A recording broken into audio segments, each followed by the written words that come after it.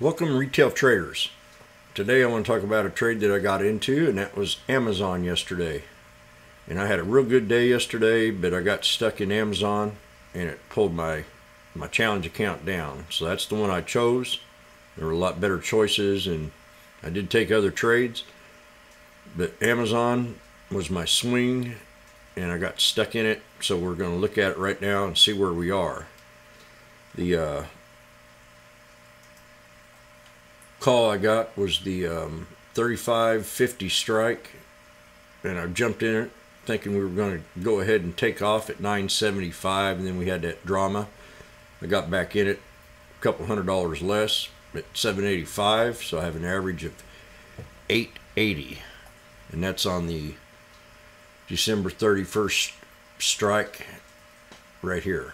So I got to figure out, trying to figure out how I got it, how I can get out of it, at least with small loss or at least even.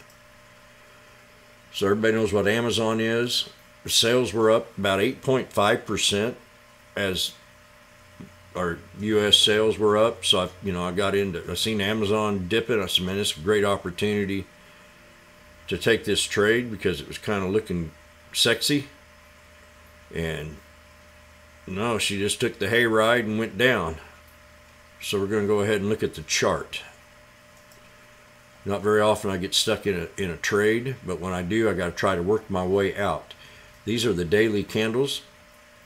The only real threatening news I saw in here was the uh, nothing really about COVID. It was more about antitrust security.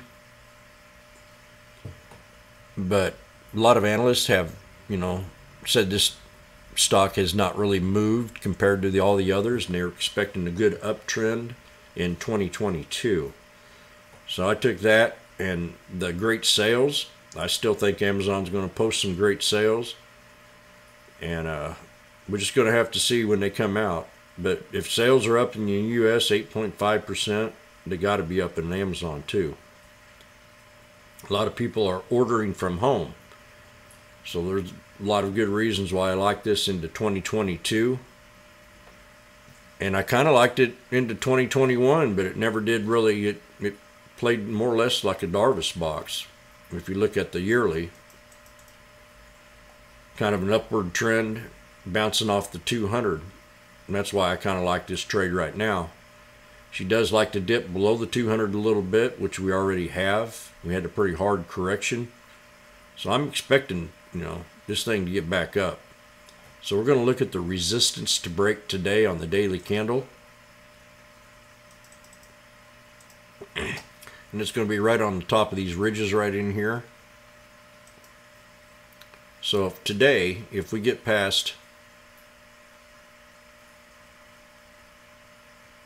well, I'd say 20, 34, 21 area, somewhere in that area, we could have a nice little ride back up here to right around the 34, 39 area for a resistance level for exit idea. But we got to break at 34.21. And we're going to kind of double check that on the 20 day. Yeah, I'm going to stick with that. If we can stay above this here support level of 33.90, 19, that'll be great.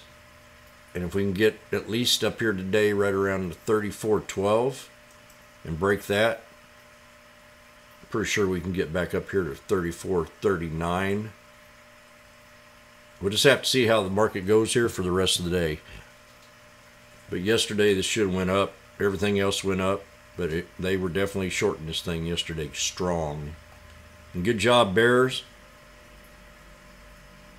We're going to see what we can do today so everybody have a great day. This is amazon